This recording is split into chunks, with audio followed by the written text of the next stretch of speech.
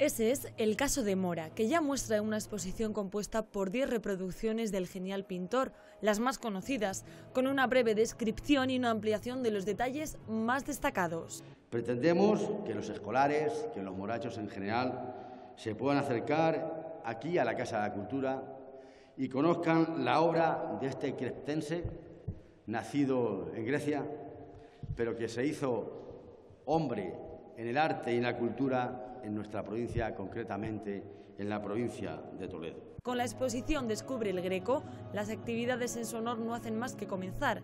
A partir de este mismo lunes, grupos de escolares la visitarán y participarán en el taller creativo Pinta tu Greco.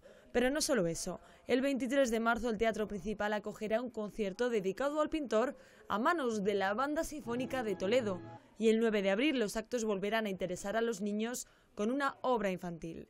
Unos eventos que para el alcalde de la localidad hacen especial a Mora. Yo dije un día que quería que Mora volviera a ser, lo, que, lo que siempre fue.